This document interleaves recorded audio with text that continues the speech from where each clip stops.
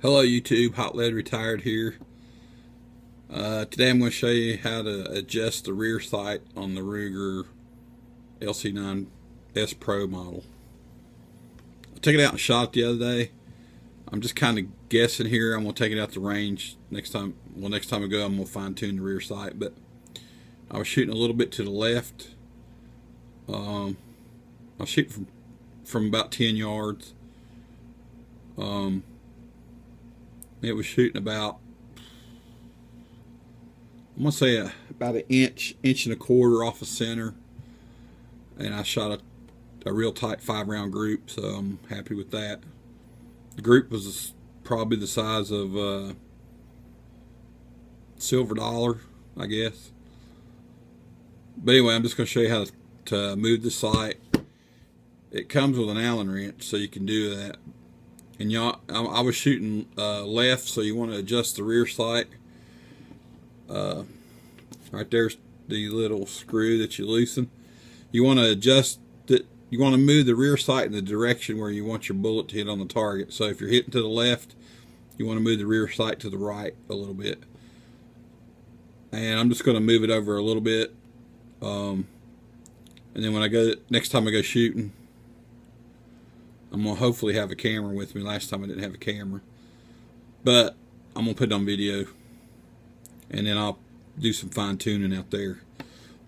Alright, here we go. Let me move my camera down so you can see it. I don't know if you can see it or not. Alright.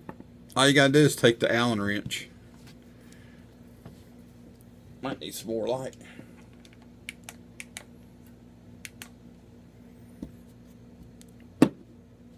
Alright. I'm going to take the Allen wrench and just loosen the screw.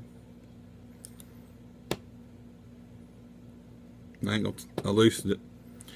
And it says you can tap it over with like a, uh, I just used the bottom of my screwdriver, but I already loosened it up earlier, so it's it's pretty much it.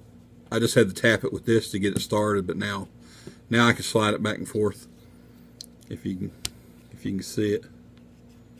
See? I don't know, you might not be able to see it too good. But anyway, it slides back and forth. So, I'm just going to move it over to the right. And I looked at it earlier. It lines up on the, when it's centered in the middle, it's got like a flat edge of the top here that each side mark lines up with the the lines on the sight. So that gets you in the center pretty much. But anyway, once you get it where you want it, let me look at this thing. About right there. And then you just tighten it up. The Allen wrench don't take much. Okay.